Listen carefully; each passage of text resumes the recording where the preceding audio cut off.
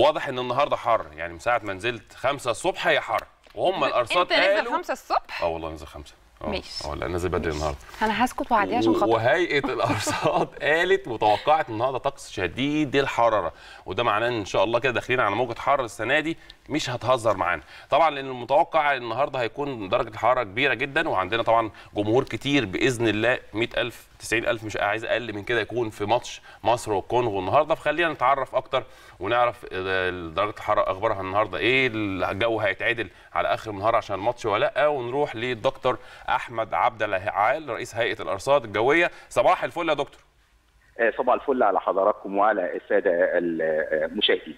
أهلا بيك يا دكتور. وطبعا تمنياتنا النهارده لمصر بالتوفيق كله بس دايما بنحب نطمن على درجات الحرارة والجو بشكل عام هيبقى عامل إزاي. بالأخص ليلا ويا ترى الموجة دي ممكن تنتهي أو تتكسر ولا لأ؟ يعني إحنا النهارده قمة ارتفاع في درجات الحرارة اليوم وغدا حيث تصل القاهره إلى 40 درجة. من يوم الجمعة يبدأ الانخفاض في التدريجي في درجات الحرارة. لكن عايز أطمن السادة المشاهدين أنتوا وقت إقامة المباراة هتكون الحرارة ما بين 29 و 30 يعني هتكون في تحسن في الأحوال الجوية.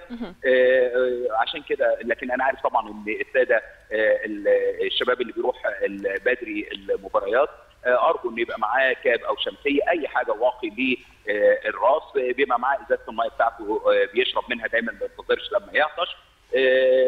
يعني لو والله لا يقدر أي حد فتره الظهيره حس بارتفاع حرارته وهو قاعد في الاستاد في قوافل طبية حوالين الاستاد يا ريت إن هو بينزل ليها على طول هو بيديله علاجه وهو واقف بيرجع يكمل المباراة وإن شاء الله يكون نشاهد مباراه جيده بفوز مصر العميق. يمكن يا دكتور أحمد ارتفاع درجات الحرارة ما بيبينش قوي ما بنحسوش في إحساسنا بالحر ولكن ارتفاع الرطوبة ونسبة الرطوبة أعتقد هي اللي بتبقى بتبين الحر وده اللي ممكن يأثر النهارده على شبابنا نسبة الرطوبة برضه هتبقى مرتفعة مع درجات الحرارة خليني أقول لحضرتك يعني إحنا الحمد لله فترة الظهيرة هتكون الرطوبة منخفضة هتصل إلى 25% يعني هتبقى معقوله قوي في فترة الظهيرة هي يمكن بتكون مرتفعة إلى حد ما في الباكر توصل 75% على الوجه البحري والقاهرة لكن فترة الظهيره الحمد لله هتكون منخفضة وأثناء إقامة المباراة يعني إن شاء الله مش هتزيد عن 50%.